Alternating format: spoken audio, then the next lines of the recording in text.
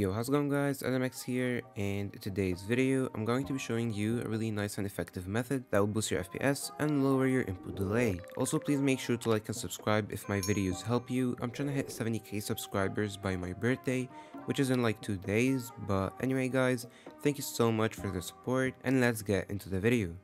Alright, so before I show you how to apply this tweak, let me first explain what it is and what it does to your PC. So to start off, this method is basically just revolving around two features called Spectre and Meltdown Protection. Both of these features are security patches that protect you from attacks that manipulate the Spectre or Meltdown security flaws to access your info. The protection against these security flaws is already enabled by default on all Windows systems, but the amount of performance loss and horrible latency you get by having them enabled is just beyond crazy. It's already been known for years how much they slow down your CPU and how big of an impact they have on your gaming performance, but a lot of people still don't know how to disable them to get the maximum performance out of their CPU. While disabling them might sound risky for some people, it really isn't.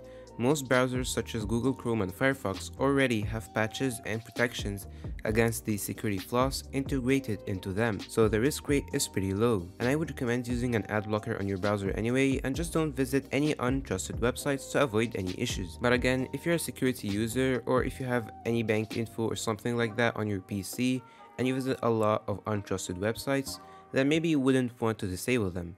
But if you're a gamer that doesn't visit any like sketchy websites and actually wants to get the best out of their PC, then this is definitely for you. Alright, so now let's get into how you can actually disable Spectre and Meltdown to get the best performance out of your CPU, which will help your FPS and input lag. So first off, you basically want to click your Windows key and R at the same time, and then type in regedit. After that, click enter, and then when you're in here, simply just follow my steps. So first of all, you want to double click on H key local machine, then you want to double click on system. After that you want to double click on current control set and then you want to double click on control. After that you want to scroll down till you find session manager and then when you find it simply just double click on it. Then you want to scroll down again and then you want to click only once on memory management. And then when you're in here, you simply just want to go on the right right here and then find the D word called feature settings. After you find it, you simply just want to change its value to 1. For most of you, it's going to be set to 0. You simply just want to double click on it, set its value to 0, and then click OK.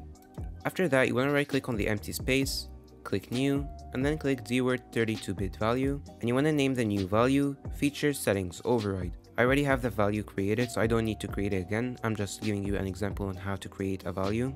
And after creating the feature settings override value while making sure that you typed it correctly as I typed it on screen right now, double click on it, and make sure that the value data is set to 3, and then click OK. After that you want to right click on the empty space again, click new, and then click dword 32-bit value again, and then this time you want to name it feature settings override mask. After creating this dword and making sure that you typed it correctly with no mistakes, simply just double click on it just like the other one, and then set the value data to 3, and then simply just click OK. After you've done that, you can now exit out of registry, and then basically shut down your PC and power it on again, and then when you're back, you now have Spectre and Meltdown disabled, and you can finally enjoy high CPU performance with decent latency and FPS. So that was it for the video guys, I hope you all enjoyed it and that it helped you all out.